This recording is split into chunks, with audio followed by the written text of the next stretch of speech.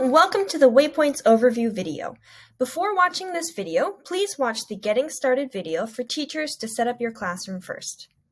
Waypoints is a formative assessment tool that tracks weekly student responses to statements derived from six SEL focus areas self-awareness, relationships, community, agency, well-being, and energy.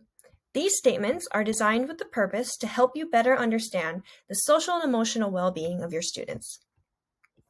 Waypoints tickets are administered automatically to your students, so you don't have to do anything except direct your students to use their devices to take waypoints every week. We suggest using a time where you and your students are together and have about 5 to 10 minutes to take the waypoints exit ticket. Each ticket consists of six statements answered on a scale of 1 to 5. Every week after logging in, your students will see a Waypoints exit ticket on their dashboard like this. When they click on Complete, they will be prompted to answer those statements.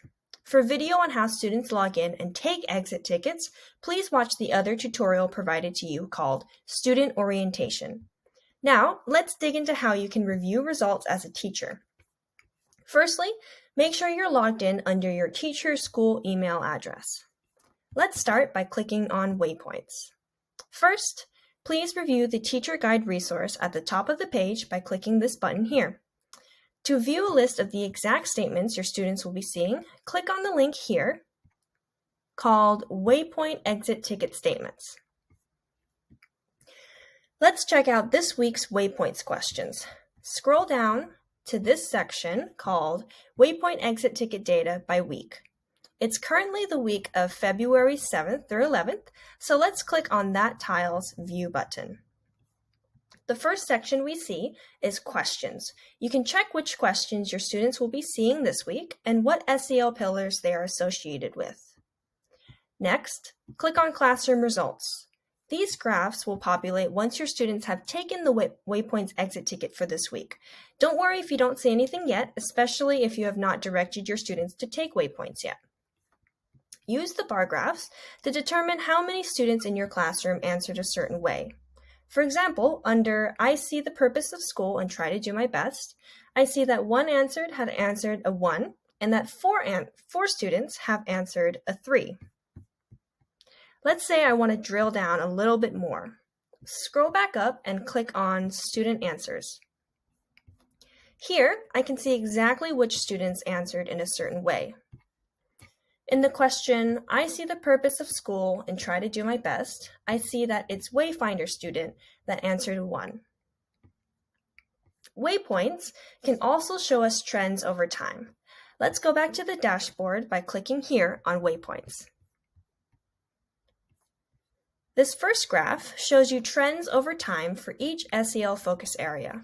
Let's say I want to see how my classroom has been scoring in well-being. I can click on each of these pillars to remove them from the graph until just the trend line for well-being remains. Next, the section Class Health will list all the classes you're teaching. Class Health is the average score of each SEL pillar out of five. This time span filter allows us to compare scores between this week, last week, and also view averages over the past four weeks and more. Lastly, how does the activity library factor into all of this? As an example, let's look into Wayfinder Class A. Notice here how any average scores under 2 are bolded in red. This week, I'm seeing that my class scored below a 2 in agency, and I want to get support for them. I can do so by clicking on the support button here, which will direct us to the activity library. You'll notice that agency has already been selected for me and that we also have the filters on the left-hand side to work with. Let's say that my Wayfinder class is in grade 8 and that I only want activities that can be done with my full class.